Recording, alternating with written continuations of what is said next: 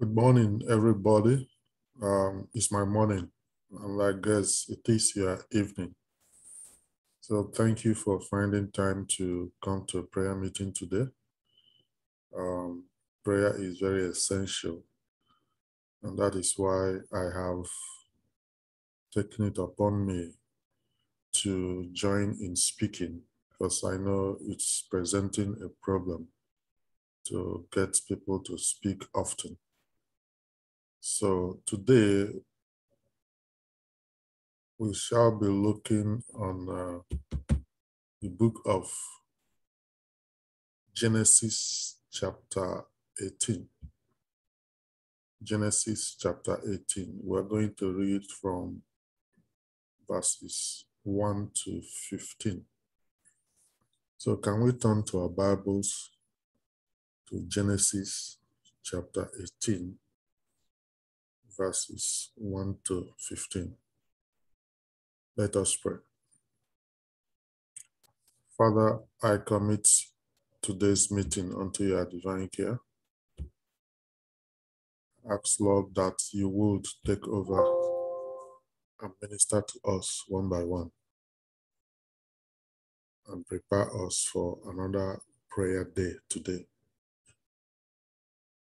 Help us to get focused to this short time we're going to listen to your word, so that through your word we shall be motivated. We shall receive the garment of prayer and pray and pray through. For those who are still yet to come in, Father, remind them that prayer is the main engine of every church they will remember to come in and join in this prayer. Thank you, Lord. In Jesus' name we pray. Amen. Again, praise the Lord. Again, thank you for finding time to uh, come in to this prayer meeting. God bless you.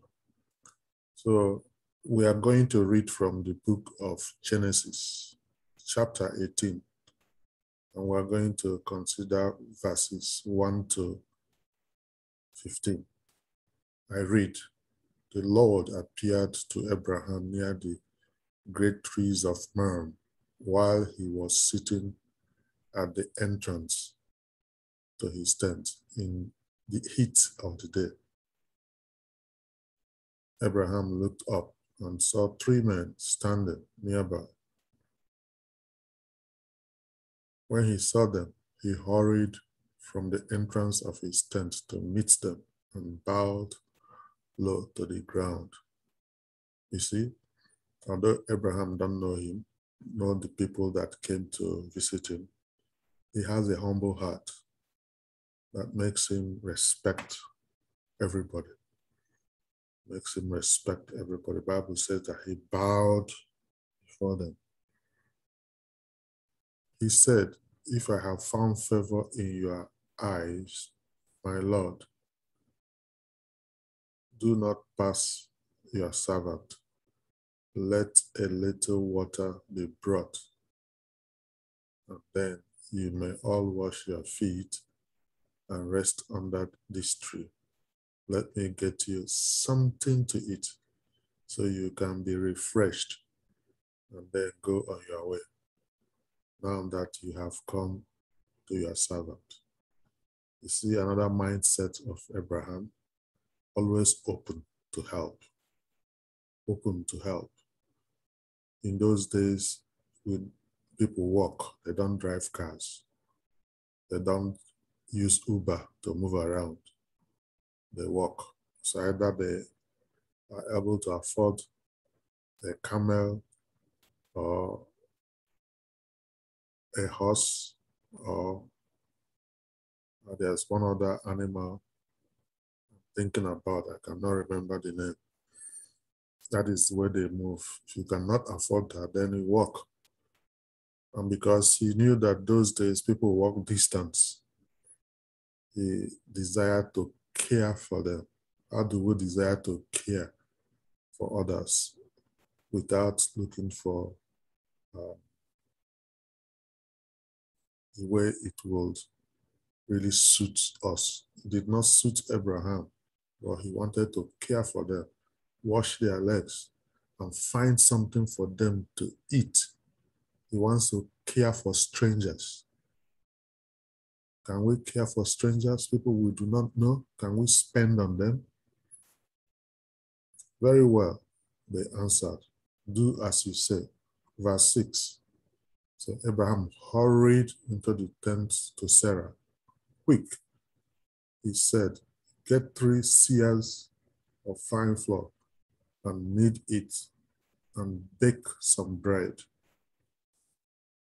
See, he gives instruction. Verse 7 He ran to the herd and selected a choice tender calf and gave it to the servant who hurried to prepare it. He did not give them a leftover. He gave them fine flour, choice tender what? Calf to be prepared for them. He gave them the best. Yet he don't know who they are. He then brought some curd and milk, and the, the calf had been prepared, and set these before them while they ate. He stood near them under a tree or under a tree. Permit me, I'll take some of my tea. It's cold now.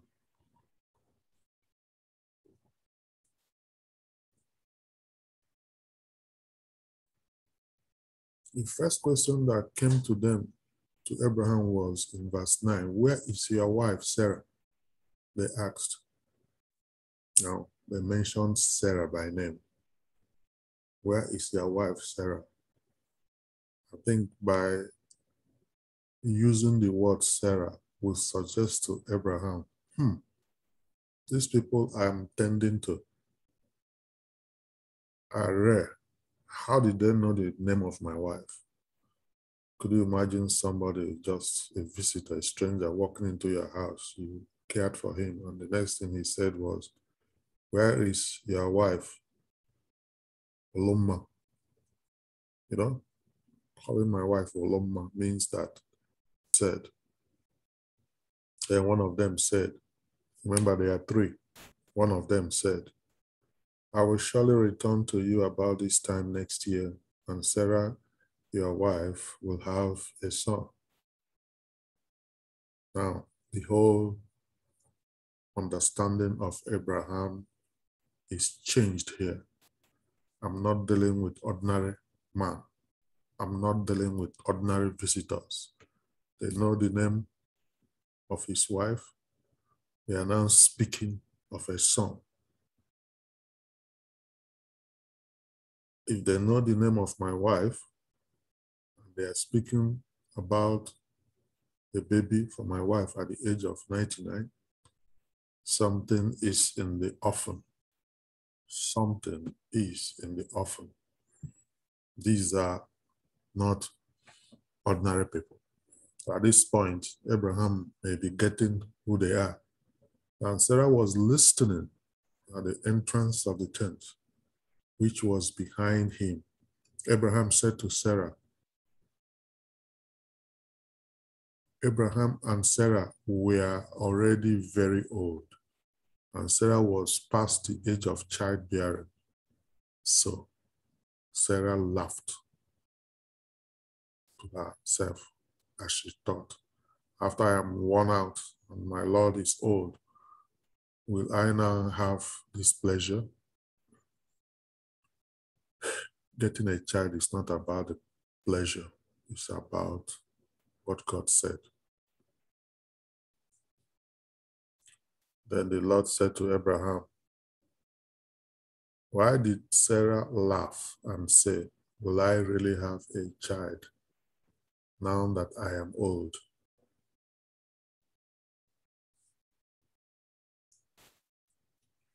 Sarah spoke this thing inside her heart, but the Lord heard it. Very often we speak a lot of things inside our heart and think that it is secret. It's ringing like a bell in the ears of the Lord. That was why the Bible study on Sunday, I was laying strong emphasis on how to cancel dirty heart, evil heart, unclean heart. The Lord hears it. People next to you will not know, but God knows it. Sarah spoke, did not speak. a thought ran through him. I am past the age of childbearing. This is not going to happen. When we walk with God, we don't reason in the flesh. We come to God by faith. And I want to say that when God is determined to do something, our faith, our unbelief cannot stop him. Uh, Sarah showed unbelief here, but her unbelief was not going to start stop what God wants to do. If something happens in chapel of faith, the unbelief uh, on the willingness of some people in their heart or whatever cannot stop what God wants to do in Chapel of Faith or what Igbo community or some people somewhere think about Chapel of Faith has no power over what God is determining to fulfill about the church he set up since 2008. The name of God is Almighty. That follows with verse 14. Verse 14 said, Is anything too hard for the Lord? The question, same question goes to all of us. Is anything too hard for the Lord? Yes, it is difficult in these days. Many people are asking for money through WhatsApp. Many people are dying and they need need and they are calling for help. And so we have some people out there, excuse me, for our Thanksgiving and harvest. And one will wonder, hmm, how is this gonna, how is this going to happen? Since we set it up, only four people has, only four people have responded. How is it gonna end up? The same question goes out. Is anything too hard for the Lord? And one may say, how are we going to finance the church for the 2022, given the fact that we are few in the church? The same question comes, is anything too hard for the Lord? Nothing is hard for God. It is God. And he said, I will return to you at the appointed time next year and Sarah will have a son. Case closed. I will return to you, Chapel of Faith. By this time next year, you will have forgotten that I have already blessed you and begin to fulfill plan for 2023. 2022 financial problem has been closed because we have committed it to the Lord. And so shall our financial problems in Chapel of Faith be closed because the Lord is the Almighty. Sarah was afraid, so she lied and said, I did not laugh. Or he said, Yes, you did laugh. Our mindset cannot hinder what God has purposed in his heart to do. So it is. Behold, I am the Lord, the God of all flesh. Is anything hard for me? Jeremiah 32, 27. Jeremiah 32, chapter 32, verse 27. Behold, I am the Lord, the God of all flesh, is there anything too hard for me?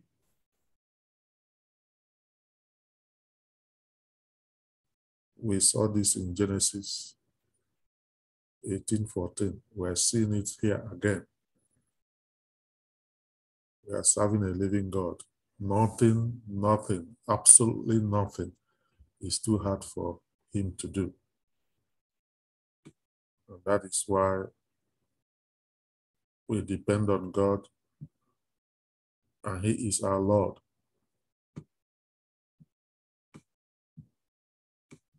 And Jesus made the same statement because he is God. In Matthew chapter 19, verse 26. Matthew chapter 19, verse 26. But Jesus beheld them and said unto them, With men this is impossible, but with God all things are possible. When we pray today, let us pray with the mindset that with God all things are possible.